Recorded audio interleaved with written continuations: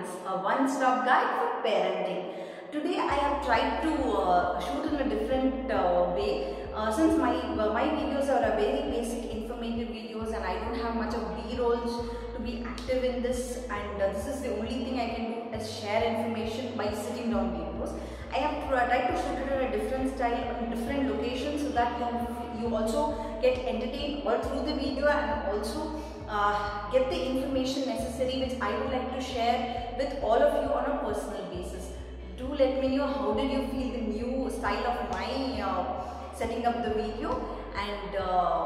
please do comment your feedback in the comment section. As every mother out there, uh, during my phase of pregnancy, I thought that I will have a very smooth, enjoyable, and uh, uh, cheerful pregnancy. But I that was not my case. I suffered from a condition known as pre-eclampsia, which I would never want any mother to face it in their in near future. So, to give you a small overview of what exactly happened during my pregnancy,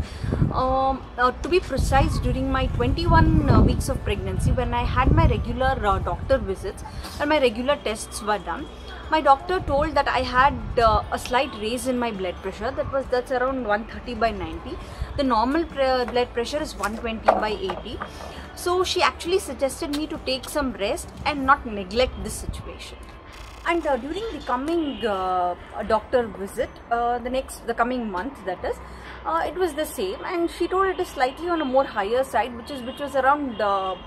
130 by 100 uh, that she actually i could actually sense the tension in her face but she just convinced me that this is all fine everything else seems to be fine but then the blood pressure is on higher side please be careful that is when somewhere a bell rang in my uh, mm, ears that uh, maybe actually something is going wrong. I need to take much care of myself but not to which extent uh, that i will end up having a premature baby or anything as such. So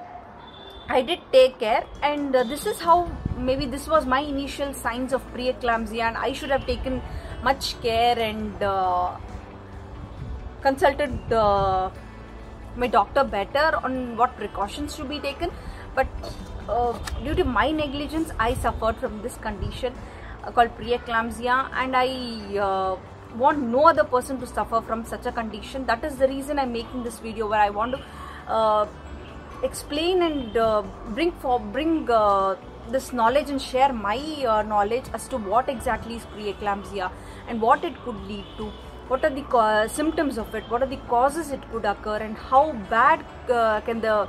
uh, condition go and lead into? Um, so here is a small uh, thought which i would like to share. Please don't skip the video and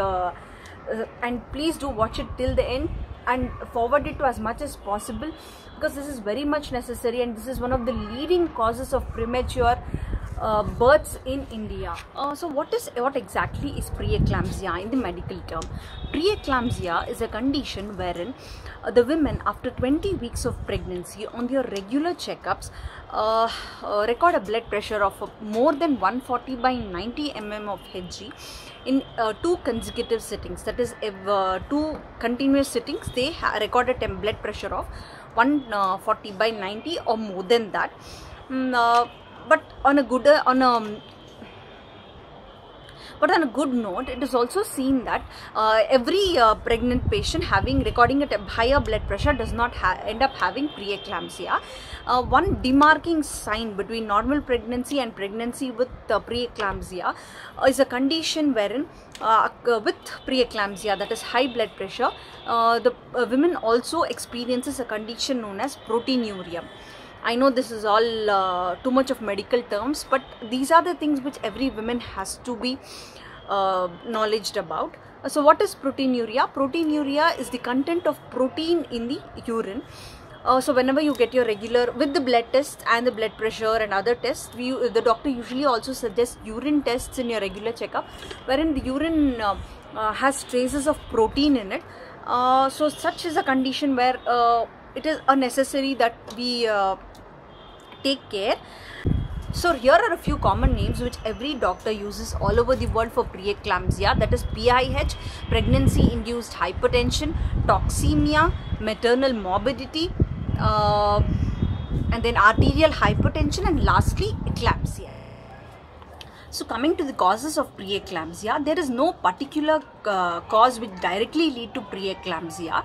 but an indirect cause which can be seen uh, based on the blood pressure, blood pressure content is that due to higher blood pressure or rush of blood in the uh, arteries and nerves, there is narrowing of the arteries which leads to a poor uh, oxygen supply or poor blood supply, poor nutrient supply to the uh, fetus or the baby and hence there is uh, a poor growth or retarded growth of the baby leading to premature birth. Uh, the other factors which uh, which are of utmost importance and could lead to preeclampsia are uh, lack of nutrition or poor nutrition uh, uh, leading to a weaker immune system hence uh, hampering the growth of the baby which indirectly leads to a condition known as preterm birth so here are a few symptoms which comes in with preeclampsia. First is increased blood pressure, proteinuria that is increase of or presence of protein in the urine routine or the regular investigations which are done, edema that is swelling of the upper and lower limbs and sometimes even all over the body, nausea and vomiting, a consistent headaches, blurred vision, upper abdominal pain and sometimes uh, in the later stages the patient can also uh, tell or complain of breathing difficulties and also decreased urine output. When such conditions come into your view along with the higher blood pressure, it is uh, usually indicated or uh, a sign of emergency that you go consult your doctor as much as soon as possible and then uh, ask for what precautions can be taken and what best can be done uh, to have a normal pregnancy in the further weeks. The last one being the complications of uh, preeclampsia. Uh, the first one among which is IUGR. IUGR is intrauterine growth retardation in which uh, um, due to the higher blood pressure the blood uh, vessels become narrower and there is less of oxygen fewer nutrients which leads the uh, baby vessels. That is the reason there is retardation or there is deficiency or there is slower uh, growth in the body weight compared to the weeks uh, and also the normal baby growth. That is the reason uh, doctors in such a situation opt for um, so immediate cesarean section uh, wherein if the uh, procedure is delayed or the birth is delayed, it could lead to respiratory distress and later lead into stillbirths uh, or death of the baby, uh, intrauterine death of the baby. That is the reason doctor suggested for a immediate cesarean section and then uh, shifting the baby into an NICU unit. Uh, that is a different story where uh, why we have to shift, shift into an NICU that I will discuss in the coming talk. The next condition is known as eclampsia which is an extended version of preeclampsia wherein uh, the patient suffers higher uncontrolled blood pressure leading into uh, patient having uh, seizures or fits in common language wherein uh, there is stillbirths or sometimes respiratory distress in babies leading to an emergency C-section on delivering the baby. Uh, and the last condition is known uh, as a syndrome or a condition where it is called as HELLP that is H-E-L-L-P. This is a condition wherein uh, uh, the preeclampsia is associated with a clotting disorder. Um, uh, the whole condition or the syndrome is something which we have to keep in mind and uh, you can uh, you can google this word and you get the complete uh, details of uh, what it is. But being a beginner you need not understand what exactly and go into the medical details. But it is a condition in fact literally where the uh, mother and both the baby and the mother will need urgent emergency help and uh, there has to be an emergency c-section which has to be done. So this takes me to the end of the first part of the a common condition uh, and a leading cause of death in pre-births, uh, premature births that is preeclampsia. In the next part I will uh, cover upon what are the precautions to be taken and what are the treatments can be taken and uh, how exactly can it avoid it and if by chance it extends into a further stage what are to be done so stay tuned and uh, if you like this content do like share and subscribe to my youtube channel and also don't forget to follow us on Instagram that is Baby and Hugs Official where I share more content, more information which is more useful and also you can get connected to me on a personal level.